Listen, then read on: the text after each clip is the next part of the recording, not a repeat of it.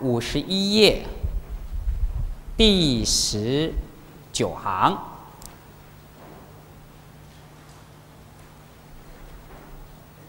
今天是讲经的第二天啊，我也准备了很多内容，请你专心听。我今天我也会讲很多的圣地的典故跟很多故事。好，请看昨天讲悟一般若波罗蜜的内涵，所以在这次讲座里面，我会特别介绍文殊师利菩萨。文殊菩萨代表十方诸佛的般若波罗蜜的老师，在文殊这个刹土功德庄严经里面说，过去的释迦牟尼佛在因地行菩萨道的时候，他曾经也拜过文殊师利菩萨做老师。文殊师利菩萨过去在八十八佛忏悔文里面叫做龙种上尊王佛，过去他已经成佛了。龙啊，梵文叫 Naga 啊，蛇是龙的一种，所以龙树菩萨也是龙族。那文殊师利菩萨在过去成佛，叫做龙种上尊王佛。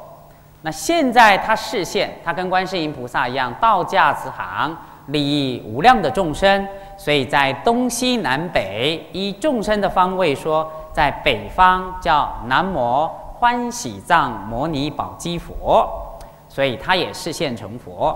所以在释迦牟尼佛来人间的时候呢，文殊师利菩萨投胎为印度婆罗门庙的一个婆罗门。然后呢，随着佛出家而成为一个大的圣弟子，他是菩萨摩诃萨。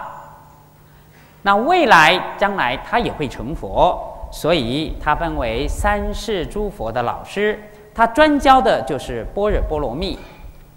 那般若波罗蜜是非常非常深的，我想你要了解的话，从很多地方可以了解。第一，《心经》。很多北传的法师都讲过《心经》，《心经》是六百卷大般若经的精华。第二个，可以建议你听《金刚经》，《金刚经》也有很多法师、历代祖师也有注解。多年前我在新加坡跟会场结缘两千套，是偶益大师的《金刚经破空论》。我在台湾佛罗教育基金会足足讲了一年，一个礼拜讲一次。要讲一年才全部把它讲完。现在欢迎你上网商业金社的网站，也可以当漏。那将来有机会的话，我除了在这里讲《菩提资粮论》啊，谢谢海印古寺的住持跟全部护法会齐请，哎，我发愿一定会把它全部讲完。那另外的其他道场有请《法华经》，今年讲第二品方便品。在《法华经》讲一个段落以后，下一部经，我希望能够贡献新加坡佛教的是《维摩诘经》。《维摩诘经》讲净佛国土，也讲维摩诘居士跟文殊菩萨辩论，啊，非常非常的精彩。他讲不二法门，不二法门就是讲心地法门。那所有无量无边的心地法门，有很多很多的经论。那最好的读《般若经》，或是玄奘大师的六百卷大般若经。今天待会我会讲玄奘大师的故事。那所有般若波罗蜜浓缩的呢，就是讲你的心，心是怎么样？就看这一段经文，请看：悟一般若波罗蜜，尊贵的释迦牟尼佛在菩提树下，以一念清净相应的一切种子。他觉悟了解了一切过去、现在、未来世出世间的佛法，这就是般若波罗蜜。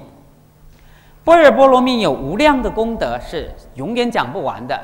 在《般若经》里面说，佛说般若甚深甚深甚深，三世一切诸佛共同转法轮呐，讲二十四小时，经过无量无边阿僧祇劫啊，还讲不完般若波罗蜜。所以答案这是很深很深的，所以听不懂不要气馁。有些人听波尔经很高兴，为什么呢？因为他在过去释迦牟尼佛在世的时候，他就学过般若波罗蜜；有些在前一尊佛迦摄佛的时候，他就学过般若波罗蜜；甚至有些人呢，在无量劫前燃灯佛座下，他就听过般若波罗蜜。所以听不懂没有关系，慢慢熏习。那各位会听得懂龙树菩萨的《菩提资粮论》，也是文殊菩萨的加持。那就像学禅观一样，有些人一打坐，嗯，他就做得非常好；有人一打坐呢，就是腰酸背痛、东倒西歪，他总觉得很奇怪。那没关系，慢慢来，就好像煮菜一样，对不对？不是每个人呢一下厨呢都会做呢这个素的水饺或素的包子，你要慢慢的学习。所以般若波罗蜜呢是成佛的法门。三世一切诸佛，乃至于可以告诉你，金刚乘、大圆满跟大手印，最深最深讲的就是般若波罗蜜。所以听不懂没有关系，啊，慢慢学，不要觉得说我听不懂，哎呀，我可能没有善根，错，你有佛性。但是般若波罗蜜呢，是要破除你很多的执着，比如说啊，不生不灭，不垢不净。不增不减，那因为我们凡夫的想法都有生有灭，有长有短，有男有女，有去有来，所以我们所有的的概念都是说在相对里面。好，我现在不知道小朋友新加坡小朋友上什么，我记得呢，我三十年前小时候，三十五年前的时候，我小时候我第一个上的课的叫什么？小狗叫小猫它要，这个肥那个瘦。这个大那个小，为什么？他必须教你世俗地。这个是男生，这个是女生，这个是爸爸，这是妈妈。因为他生活在这个世界，他必须要先教世俗地。世俗地，你才能够懂生活。不会一加一等于二，你就一加一等于五，那糟糕了。你去那 supermarket 买错买东西的时候，钱一定算错的。可是注意听，讲一加一等于二呢，这是世俗地。这是让你生活在人间，你必须累积的知识、经验跟技能。但是，假如你执着很深的话，那一加一等于二的话呢，就会变成你开悟的障碍。所以，为了破除你这个开悟的障碍，所以叫你不要执着。举个例子，这个是玻璃杯，没关系。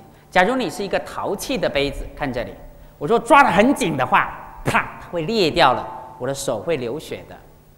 但是我若抓，人家给我一个茶杯，我若没有抓得很紧，啪嚓掉在地上，它也会打破的，打破也会伤到你的脚。那我又怎么办？你要刚拿的刚刚好，不能抓太紧，也不能抓太松。抓太松的话，啪嚓，它就会掉下来的。所以讲般若波罗蜜，听好，不是否定一切的万法。般若波罗蜜是告诉你不要太执着。不要太计较，不要太固执。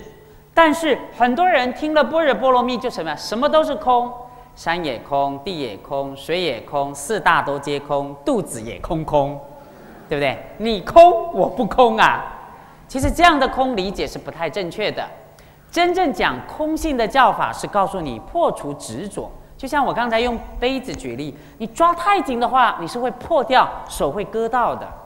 你假如对你的家人、工作、婚姻、世界，对一切的东西，你都很执着的话，那你会很痛苦。痛苦从哪里来？因为你太执着了。明明呢是过去呢十年前或二十年前的事情，你还放在心里啊？过了就过了嘛。所以禅宗讲水过了无痕，拿一个水盆，上面用手画一朵花，画完以后手指拿上来，花在哪里？没有啦。不过听好，也不能呢学了空性呢，就会变成呢一匹天下无难事的借口，这样也不对。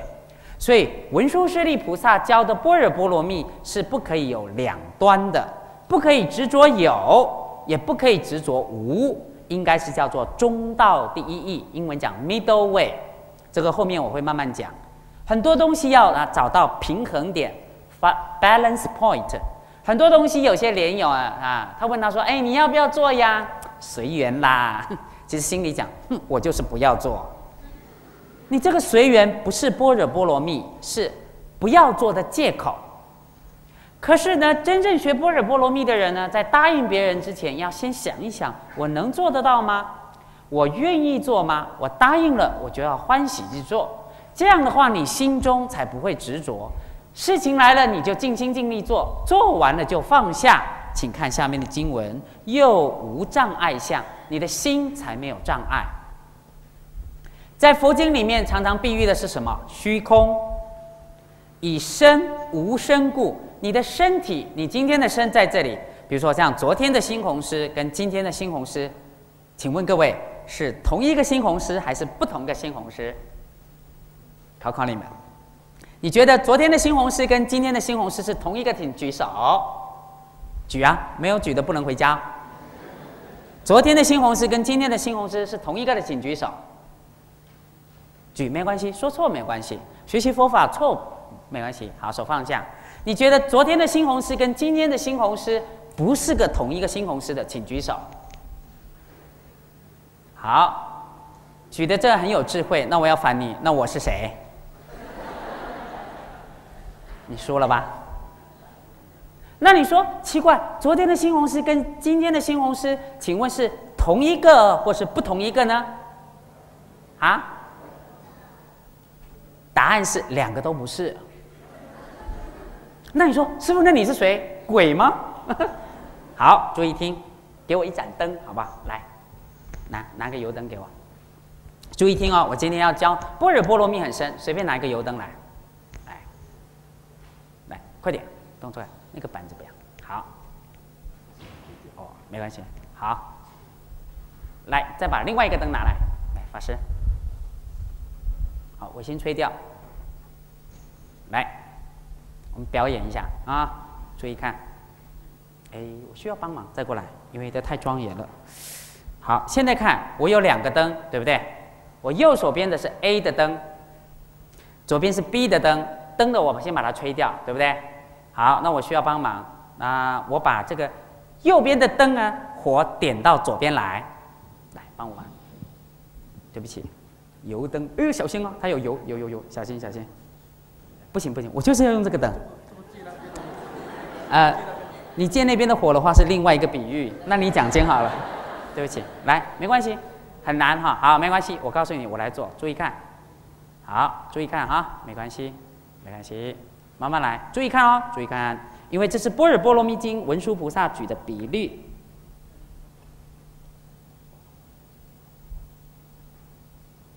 嗡啊，这不真的地，好了，他点了灯了。好看一下，没关系。这边是 A 的灯，我现在点了 B 的灯，请问 B 的灯跟 A 的灯同一个吗？哎呦，你们都不敢答了，糟糕了，遇到一个厉害的法师来考我们。请问这边啊，这边是 A 啊，你们的左手边是 A 啊，这个有盘子的，我手上拿的是 B，我现在 B 本来没有灯，我把它吹掉，从这边 A 点过来，请问 B 的灯是从 A 的。过来的，对不对？请问 B 的灯跟 A 的灯是同一个灯还是不同个灯？啊？好，同一个的请举手。好，手放下。不同一个的请举手。好，手放下。答案你们都答对了。听好看这里，A 的灯它要给它能量点过来，B 本来没有点，对不对？它一定要借过它点过来。所以它才会引有热度，所以 B 的灯才点亮。那你说 B 的灯跟 A 的灯是同一个吗？答案是不一也不异，不是同一个，也不是不同一个，这个才标准答案。因为你说同一个灯，那我会你有两个灯啊。那你说不同个，可是问题是 B 的灯是从 A 的灯点过来的啦。这样听懂了吗？好啊，两个灯都拿回去，谢谢。谢谢两位法师。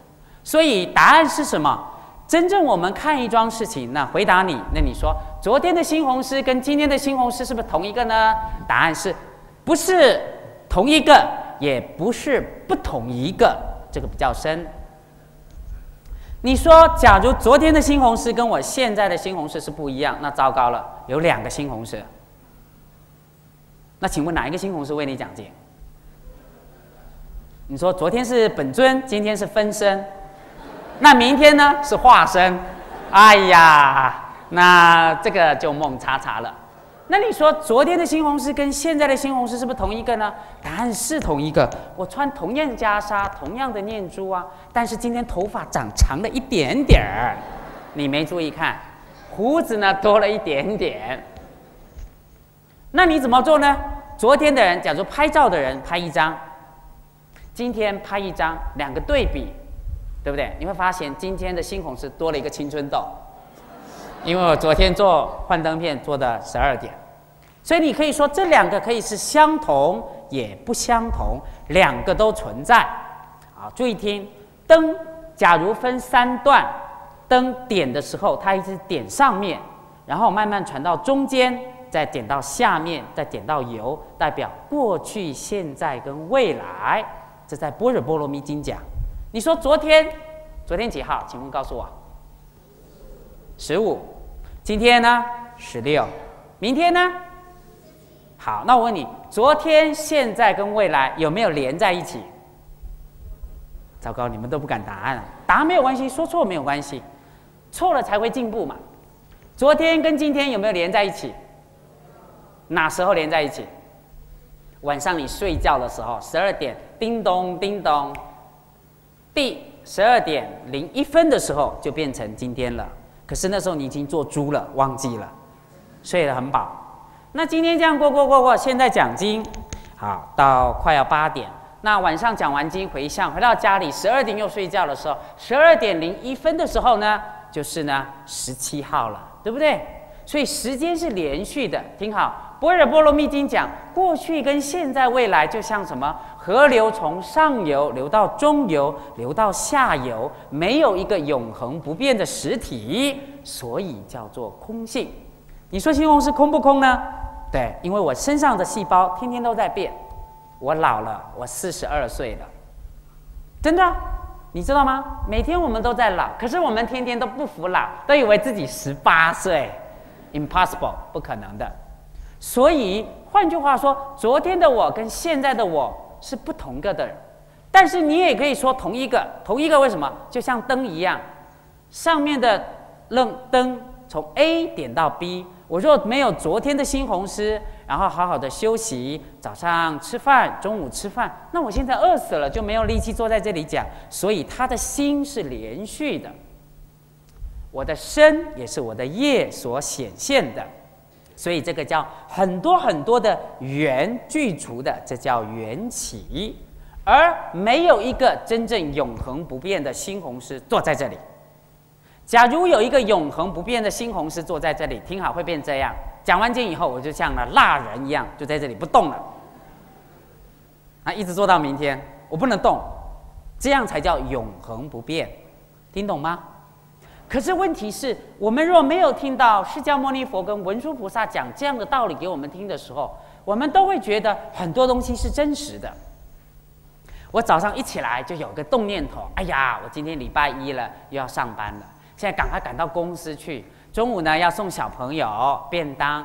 下午呢，孩子要去补习；晚上呢，又要去送他去补习。然后匆匆忙忙吃完饭呢，你要赶来海印古寺听经。待会呢，回向的时候，快点快点，我要回家睡觉了。所以我们的念头每一天都连续的非常非常快，就像瀑布一样。所以你就觉得有一个我在思考，事实上没有你。那你会说，师傅，假如没有我，那谁坐在这边听经呢？嗯。很好的问题，这后面会慢慢讲。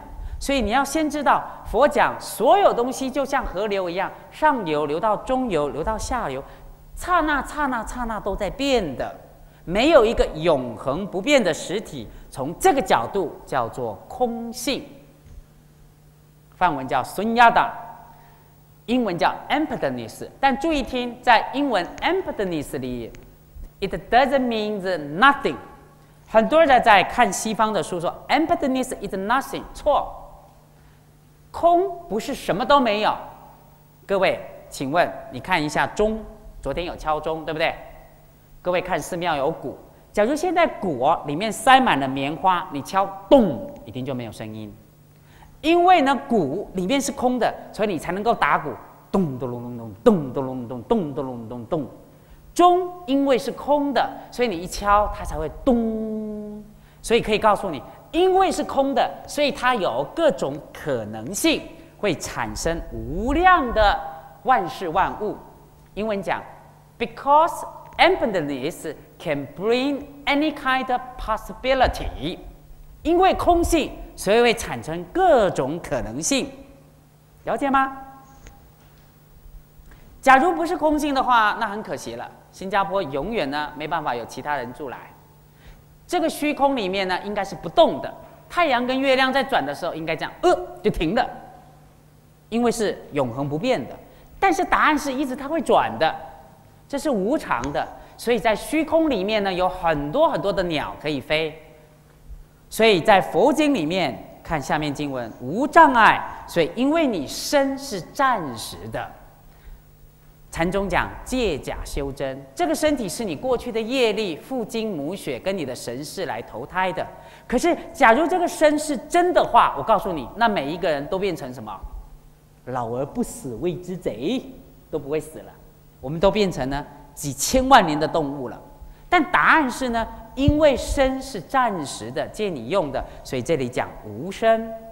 第二，你的心是没有边际，像虚空等虚空一样，无等等相是是没有等等是完全就近没有边际。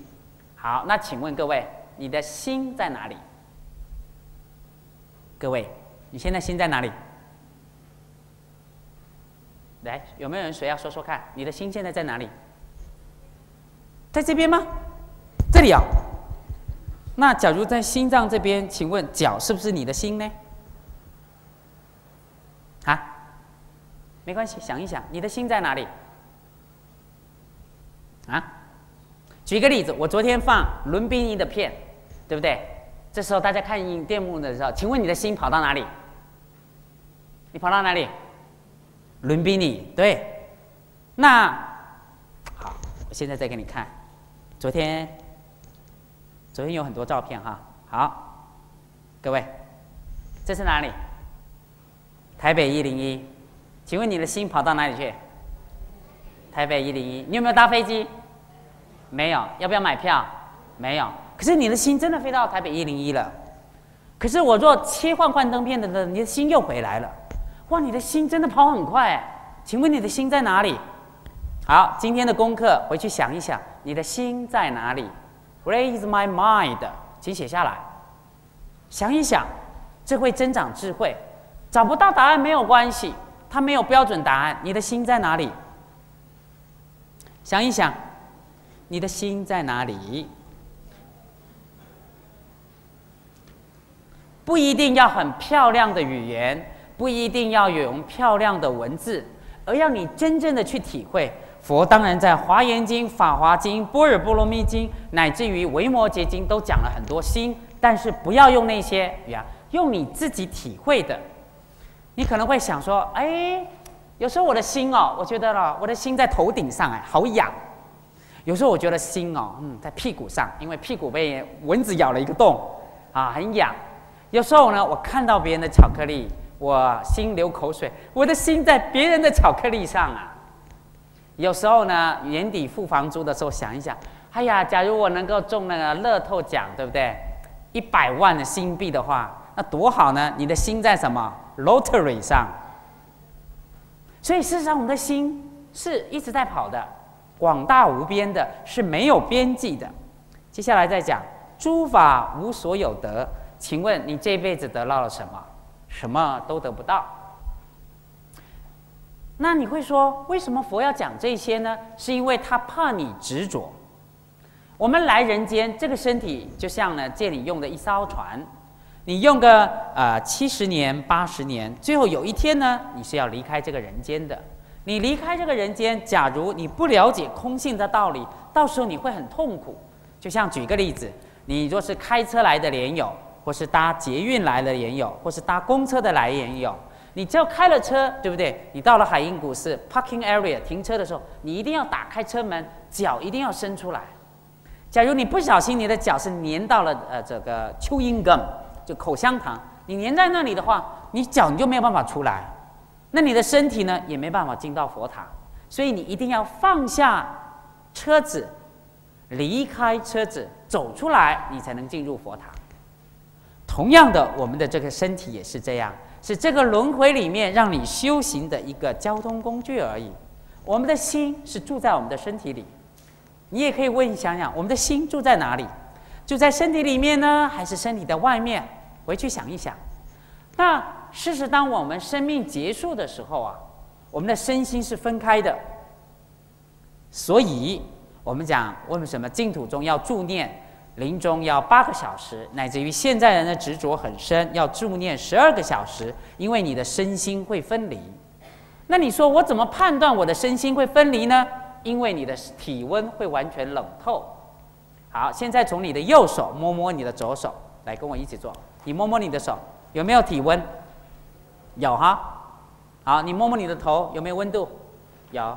好，你告诉我放下来。你摸摸你身上哪一块地方没有温度的？告诉我，没有的请举手。哪里？衣服。可是衣服很好的问题，衣服不属于你的身体，它属于你身体所拥有的。为什么呢？衣服没有神识。举一个例子，你拿一根针插你的衣服，看这里，我衣服若是插我的袈裟，我不会，哎呀，很痛，不会。可是你插到我的肉，我会说很痛。为什么？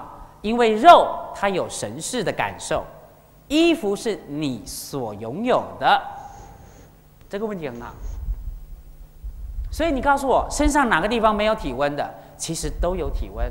但是假如没有体温的话，那我要提醒你，那块地方的组织快要死掉了。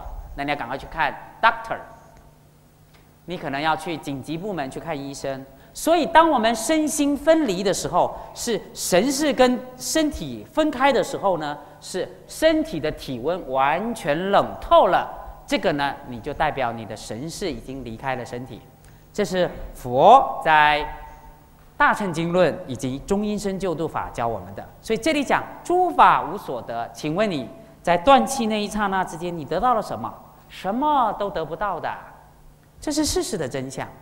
但是我们一般人不太愿意去认清这个事实。你想想看，我们呢对所有的人都其实不是很好，我们对自己最好。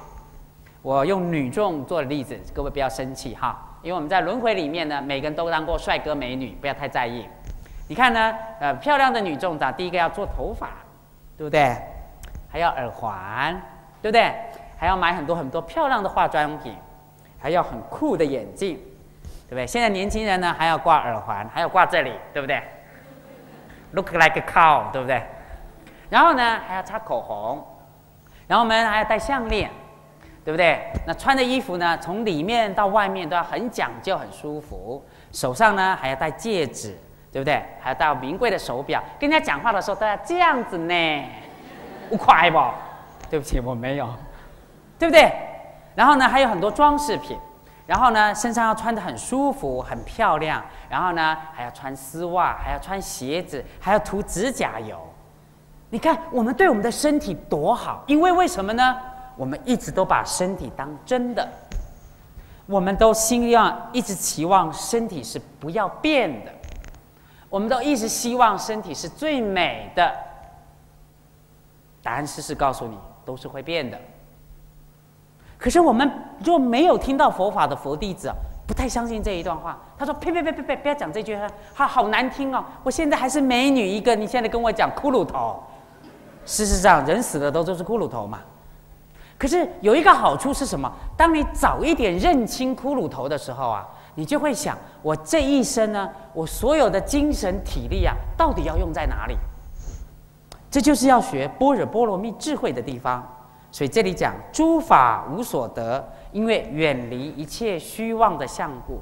当它火化的时候，毕竟是空的，不可以降服的外相。有些相貌你是没有办法改变的。爸爸妈妈生下来就是这样啊。所以你的相貌长得怎么样，有两个原因：一要感谢你的爸爸妈妈，一个要感谢你自己的业力。当然，小时候的爸爸，小时候的小朋友，大部分跟有些会跟妈妈很像。是女生来讲会跟爸爸长得很像，异性相吸。小男生的话，大部分都像妈妈的多。可是慢慢长大青春以后呢，他有他自己的心念，他喜欢呢打扮，他慢慢就会长得跟别人不一样。再加上青春期的发育，所以若你透过修行的话，你的相貌是真的不一样的。为什么？相是由你的心而变的。所以真正要修的修什么？是修心心，而不是修相貌。好，我不是很炫耀我自己，但是我想跟你分享，我以前真的长得是不太好看的。嗯，对不起，我没有带我以前的照片来。我以前是很凶的，脾气不太好。没有学佛之前，我脾气很不好。我很聪明，但是很酷。我瘦瘦的。可是学佛以后呢，我念无量寿经，一天念七遍，念了三千遍以后，我的相貌更庄严了。现在呢，相貌也更庄严了。所以它相貌是会变，相从哪里变呢？从你的心变，从你修行的功德力来。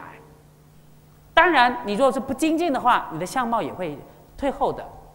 那你想想看，观世音菩萨为什么清净庄严累劫修？你看文殊跟普贤、地藏菩萨，为什么他们相貌那么庄严？释迦牟尼佛这么庄严，因为他的心庄严。所以不可降伏相是说，我们透过业跟烦恼的牵引，有很多相貌你是不能改的。但是若你真正的修行，你的心超越了业力的时候，你的相貌就会改。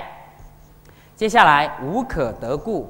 没有名句故，无名字过身故。你现在名字叫做什么？我叫新红师，新红师也是一个假名呢。我可以告诉你，我的内号叫悟照师，对不对？我的英文名字叫做 Harrison，not Harrison Ford。最近的 Harrison Ford，因为我的这个英文名字是啊，我读国中的时候，我的外国英文老师给我的名字 Harrison，对不对？你看我一个人有三个名字。新红师、悟照师，还有 Harrison，我还有藏文的名字叫 Lama janchu Misela，翻成叫菩提光明。好，我有四个名字，请问这四个名字是同一个人还是不同个人？来，再考你一次。啊？啊，这个时候不可以答不一不一意啊，同一个人，对，那表示什么？出家的时候，外号跟内号是我大乘师父给我的名字，悟悟照，希望我大彻大悟，对不对？佛光普照全球，心红心包太虚，亮州沙界，弘扬佛法，利益众生，这是古来善知识给你的名字。，Harrison 吗？该不会我的英文老师希望我做 Harrison Ford 吧？我不知道，不过我就喜欢这个名字，所以我到现在我的英文名字也叫 Harrison。我的外国朋友都叫我 Harrison，因为你用外国名字，他会觉得比较亲近。那藏文的名字将 Chu m e s l 翻成叫做菩提光明，希望我有菩提心，像一个光明的灯塔，利益无量的众生。那这四个名字无名身故，都是暂时安利的。不同的善知识，不同的长辈对你的期许。所以，其实这个名字没有永恒不变的，了解吗？假如过一百年以后，或许也有叫红星师或新红师的，对不对？像你们外国名字里面常常问了一个 Michael，对不对？Who is Michael？好多人举手，Michael Young、Michael Lin、Michael whatever，对不对？可见这个名字是暂时的。好，可是呢，我们凡夫若没有般若波罗蜜的话，我们就会觉得呢，我们要取一个好的名字。我们就觉得很尊贵，就很骄傲。你看，你烦恼就来了。取一个呢，叫什么什么狗的名字呢？你就会觉得呢，自己好像被贬低的。其实名字都是空性的，都是会变的。名字只是暂时你来这人间的一个代号而已的，了解吗？所以无下面看无惧何故，离来去故。事实上，我们的身体是很多的地水火风而去组合而成的。可是，当你人死亡的时候啊，你把它所或骨灰把它火化完以后，好，我们中国人都有一个儒家的道理，要叫捡骨或放骨灰塔，那是中国人对一个儒家的伦理、对祖先的恭敬，这是很好的美德。但是从佛法的角度来，各位，你知道佛教是主张火葬，对不对？中国人是土葬，你们各位有没有听过一个最新的叫树葬？人死了以后，火骨灰，然后这骨灰撒在哪里呢？撒在公园的树里面。现在台湾这样子的，很好啊，你不用呢花很多钱呢。那你又说可不可以呢？从佛教无常的眼光跟空性的眼光里是可以的。可是这个观念呢，中国人现在还不太能接受。不过台湾呢，现在也在推展。为什么我们只有一个地球？假如每一个人都要买一块地，每一个人都要呢找一个棺材，哇，那全世界哈可能棺材都不够放的。所以人类的观念，他会一直求进步。可是佛法讲的原则是说，当你身体结束的时候，是没有来也没有去，是地水火风四种元素结合而成的。所以最后一个无因相离作者故，没有一个永恒不变的作者。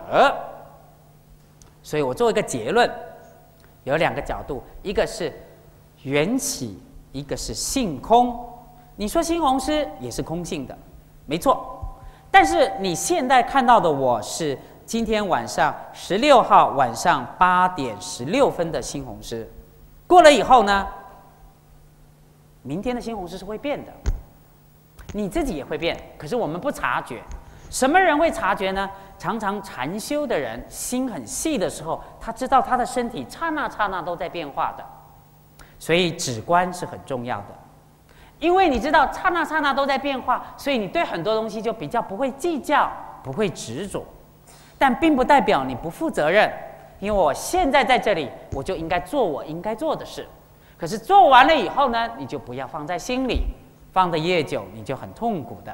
好，讲一个故事给大家听，或许你听过，听过也再复习一遍没关系。从前呢，有一个师傅教一个徒弟。然后呢，这个徒弟呢在山上，那师傅也教徒弟呢，就是要这个持戒律，男女授受不亲，因为出了家呢要严守戒律。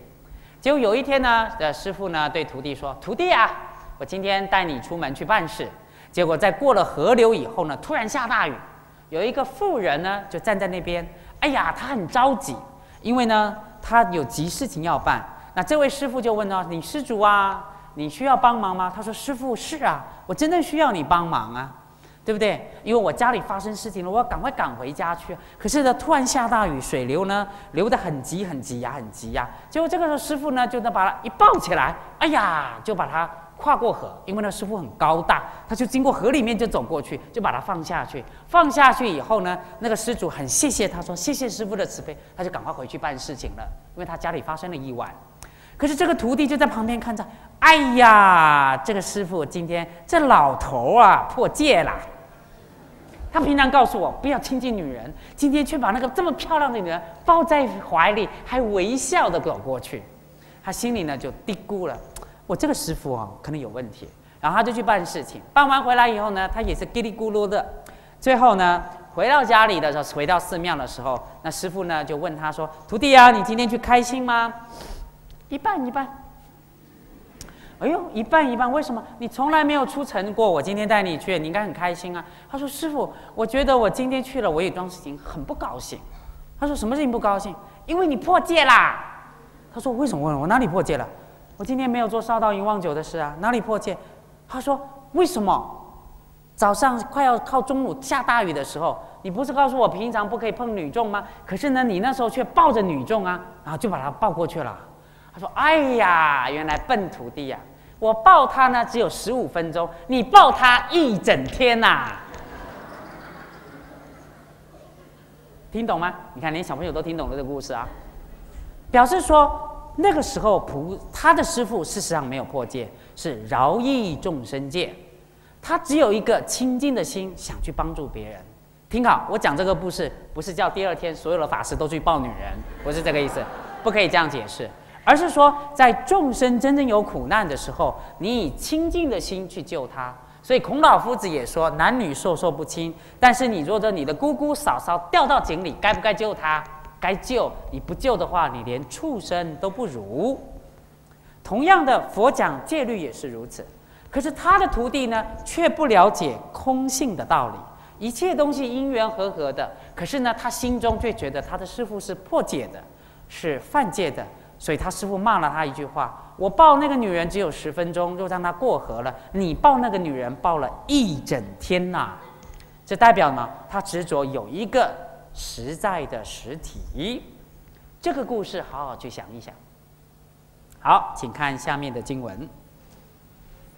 再看无生故，无生相，生无有故，无去之相，离流转故。”我们觉得我们出生了，比如说我四十二岁，四十二年前，我妈妈生了我，然后我在医院诞生了，然后呢，从小她带大，然后最后去读书、当兵，最后出家了。的确，从世俗地的角度里面，我们是真的有生，我也慢慢会生老病死，最后会老。但是听好，讲无生是讲圣义地。举个例子给你听，你看电视，你今天很喜欢看寡喜，哎呀，那个坏人要杀他了，我好紧张啊！明天呢，看那个坏人呢又做坏事了。可是当电视一按了以后，什么都没有了。可是问题是，你在看电视的时候，你会不会很紧张啊？会，甚至看电影的时候也是这样。你会呢很执着、很在乎它情节会发展到哪里，因为呢那个只是电影嘛。那讲无声，听好，当我们在轮回的时候，我们的确从世俗地的角度，你会觉得从某一年我投胎到新加坡做公民，我来这边移民，我结了婚，生了小孩，然后我老病死。可是当你成佛的时候，看你过去、现在、未来，就像看录影带一样。那时候呢，你不会执着说“我有生也有死”，为什么呢？它就像一场梦。所以在《般若波罗蜜》里面，下面一段，他常常用做梦比喻。好，这里的经文是很深，我尽量把它简精要。好，请问各位都有做梦？请问常常做好梦的，请举手。很少。好，请问常常做噩梦的，请举手。好，手放下。常常不做梦的，请着举手。好，谢谢。其实是人有梦的，可能你睡得太太熟了，所以你不察觉。可能一天非常忙碌的时候，你不觉得自己有梦。其实梦是代表我们心的流动。那什么样是做好噩梦呢？可能梦呢被老板炒鱿鱼了，或是呢梦了呢半夜呢被鬼追了，或是梦了呢发生了车祸了，我发生了意外了。那这些是噩梦。那什么叫做好梦呢？梦到呢我明年升官了，我我梦到呢去一个很快乐的地方，我是梦到我在梦中看到了师傅、佛像，我看到了太阳。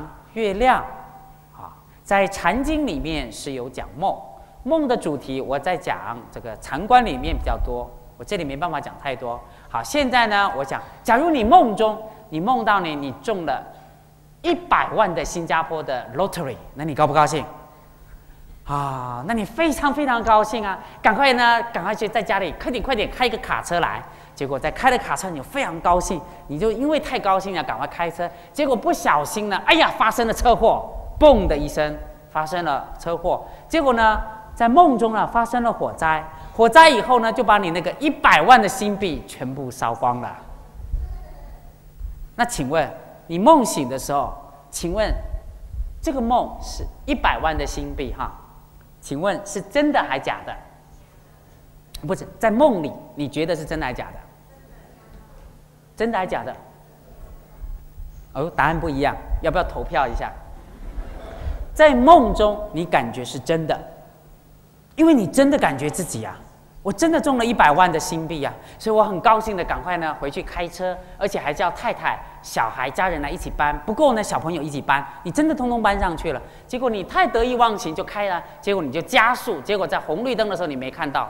棒起来，你就发生了车祸，因为轮胎爆炸，气缸呢点被点火，所以在梦中的时候呢，你的一百万的新币纸钞啊，cash 全部烧光了。烧光了以后，你在梦中会不会很难过啊？会不会？会在梦中你真的很难过。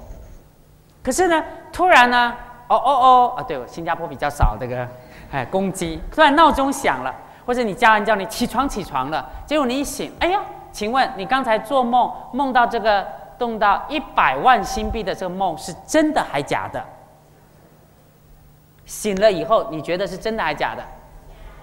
哎，各位很聪明哦，好，越来越有智慧。对，醒了以后你绝对是觉得是假的。请问那个时候你会不会难过啊？应该不会，为什么？本来就没有一百万嘛，那只是我做梦呢，发白日梦嘛。做了一百万的新币，那假如你醒来以后突然看到一百万在你旁边的话，我想你会吓到，你会说从哪里来的，对不对？所以答案是醒来以后你知道那个是假的。好，答案注意听，差别在哪里？梦中你并不知道，所以你把它当真。可是梦醒了以后，真正醒的叫 wake up，或英文讲 recognize，你确认你的梦是假的，这个时候你就不会执着，所以你也不会难过，因为你没有中一百万，事实上你也没有失去一百万。好，差别在哪里呢？就是一个是在梦中他没有觉悟，一个是梦醒了以后他有觉悟，听懂吗？好，注意听。以此类推，我们在轮回里也是这样。我们觉得我们今天投胎了，我们的结婚了，生了小孩了，也工作了，你都在梦中，你把它当真的。听好，叫你不要把它当真，不是叫你不要做好老公，也不要做好太太啊，不要做你该尽的义务，不是这个意思，而是你应该做，可是你不要执着。假如有天。老公跟伴侣结婚生子以后，我们中国话有一句话叫“看手哎”，对不对？牵手的，对不对？结婚的呢啊，看手哎，问结婚去啊，对不对？可是看手卖看手固啊，牵手不要牵太久，为什么呢？因为牵太久的时候你会很难过。为什么？因为当夫妻呢发生无常道、业力道的谁先走的时候是不晓得的。比如说，我的外公跟外婆一辈子看旧的，牵了五十年了，他们非常非常的恩爱。在乡下里面，我们在新竹哈，我们还种田，然后呢，他们呢就到田里面，很冰冷的天气，他还要呢穿那个雨鞋到田里种稻。就有一天呢，我的外婆癌症了，就过世了。过世以后，我的外公就每天坐在门口说：“嘿。”阿婆怎么转来呢？我讲客家话，意思说外婆为什么没有回来呢？她去哪里呀？我怎么每一天等她都等不到啊？听起来是很悲伤的。为什么？她已经走了。可是他内心里呢，希望那个牵手的永远的再回来。这个就是什么？你不了解空性，你不了解佛法，你把那个执着的东西，希望它永远不要变。后来我的外婆往生以后，我的外公啊，因为过度悲伤，什么都不做，有点像痴呆，就坐在门口，这样老了就十年。很不幸的，过两过两三年前，我去印度的时候，我的外公断气了，我却不在他旁边。可是我的外婆走的时候，我在他旁边。所以我们在梦中里面，我们都会认为是真的。可是佛不是要叫你不要做好爸爸，不要做好妈妈，不要做小孩，不是这个意思，而是佛要叫你说，你来人间，你家人在一起，你要好好珍惜，但是不要执着，不要太牵挂，否则当你的家人先走的时候，你会很痛苦。所以各位想一想，要不要出家呢？考虑考虑。出家的功德就是这样，其中一个斩断亲人的留恋。我可以真跟你说，我出家已经二十一年了。我会关心我的母亲，但是我不会留恋我的母亲。为什么？有一天她也会走啊。我每天早上起来修无常观的时候，我都要观想，可能一通电话来，我的妈妈就走了；一通电话来，我的师傅就走了。那走了怎么办？我只能诵经祝福他。所以跟他在一起的时候，送各位一句话：要想是第一次，也是最后一次，请写下来。第一次。也是最后一次，人与人珍惜，你要想第一次，因为第一次你很欢喜，因为是最后一次，所以你会很感恩。这个就是无常观，这就是大乘修空观的方法之一。所以你的家人在一起，你很高兴，就像在 theater 演戏一样，我演你的爸爸，你演我的妈妈。演完戏以后，戏落幕的时候，就各走各的啦。对不对？你今天能来听星红法师，你还很高兴啊，因为很欢喜。明天你来不来？不知道啊。明天星红师在不在？也不知道。当然，我会讲经把它讲完了。可是我这边讲完，你不一定会来。明天可能呢，一个朋友跟你讲：“哎呀，糟糕，我有个朋友突然发生车祸，你赶快来医院看的妈妈。”很好。去看他，就是你的菩提心，也是你的菩萨心。DVD 没有听。